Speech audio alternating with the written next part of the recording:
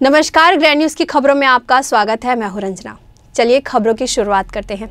आज छत्तीसगढ़ के मुखिया भूपेश बघेल के जन्मदिन पर बधाई देने के लिए उनके समर्थकों व चाहने वालों का सिलसिला दिन भर चलता रहा।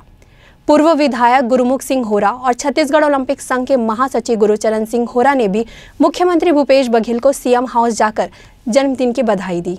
छत्तीसगढ़ के मुख्यमंत्री भूपेश बघेल के इकसठ साल होने के अवसर पर राष्ट्रपति द्रौपदी मुर्मू और प्रधानमंत्री नरेंद्र मोदी ने उन्हें बधाई संदेश भेजा है।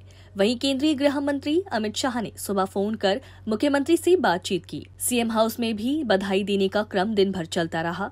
छत्तीसगढ़ ओलंपिक संघ के महासचिव गुरुचरण सिंह होरा और पूर्व विधायक गुरमुख सिंह होरा ने भी सीएम हाउस जाकर मुख्यमंत्री भूपेश बघेल को बधाई दी।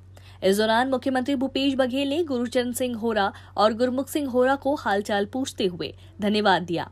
इस मौके पर छत्तीसगढ़ ओलंपिक संघ महासचिव गुरुचरण सिंह होरा ने कहा कि मुख्यमंत्री भूपेश बघेल गरीब, मजदूर, किसानों के साथ खेलों के मसीहा है। उन्होंने मुख्यमंत्री को उनके जन्मदिन की बधाई दी है। उनके कार्यकाल में राज्य के हर वर्ग का चहुमुखी विकास हो रहा है। देखिए, गरीब, मजदूर के साथी, किसानों के मसीहा और खेलों के मसीहा।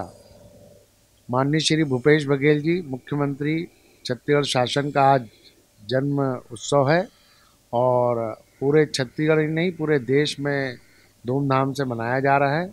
मैं उनके दीर्घायु होने की कामना करता हूँ और हमारा छत्तीसगढ़ राज्य उनके नेतृत्व में इसी प्रकार से प्रगति करता रहे, ऐसे विश्वास जगाता हूँ। जहाँ तक खेल खिलाड़ी का प्रश्न है माननीय भूपेश बघेल जी ने अनेक सौगातें दी हैं और आगे भी खेलों का विकास निरंतर होते रहेगा, ऐसी मैं कामना करता मुख्यमंत्री भूपेश बघेल के जन्मदिन के एक दिन पहले होटल बेबीलोन इंटरनेशनल में आयोजित जी न्यूज़ के कार्यक्रम में छत्तीसगढ़ ओलंपिक संघ के महासचिव गुरुचरण सिंह होरा भी अतिथि के तौर पर शामिल हुए। इस मौके पर छत्तीसगढ़ ओलंपिक संघ महासचिव गुरुचरण सिंह होरा ने मुख्यमंत्री बघेल को जन्मदिन की बधाई देते हुए उम्मीद जताई कि छत्तीसगढ़ कुछ ही समय में खेलगढ़ के रूप में जाना जाएगा। Bureau report grand news.